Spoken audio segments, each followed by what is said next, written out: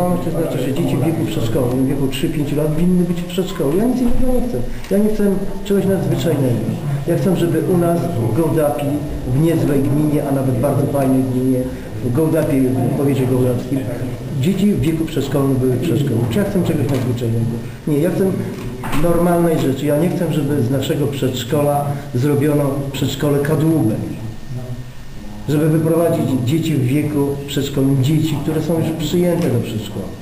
Te dzieci są przyjęte na podstawie uchwały Rady na podstawie statutu przedszkola, na podstawie regulaminu przyjęć. Listy są wywieszone, dzieci są przyjęte, o tym wszyscy wiedzą. I co my teraz? Zmieniamy zasady gry podczas gry? No takich rzeczy się nie robi. My radni winniśmy przewidywać pewne rzeczy, wiedzieć o tym, co będzie, jak to będzie skutkowało.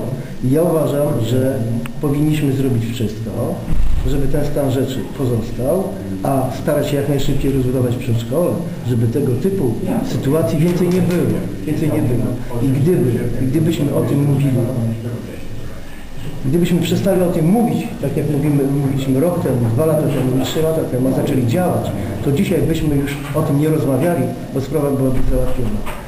To jest znowu załatwienie sprawy na ten czas, na dzisiaj. To nie jest załatwienie systemowe problemu, to jest znowu załatwienie problemu. Oddział najpierw sześcioletnie do szkoły, później pięcioletnie. Ja nie jestem za tym, żeby dzieci pięcioletnie były tylko w przedszkolu. Ja chcę, żeby była dowolność, żeby rodzic miał prawo zdecydować, czy chce, żeby jego dziecko było objęte dziewięciogodzinną opieką przedszkolną, stricto, z trzema posiłkami, z, z nauczycielem i z pomocą nauczycielską w budynku przedszkolnym, czy też tylko opieką pięciogodzinną, gdzie jest tylko podstawa programowa i jeden posiłek. A w pozostałych dwóch szkołach nawet posiłek, który będzie dowożony.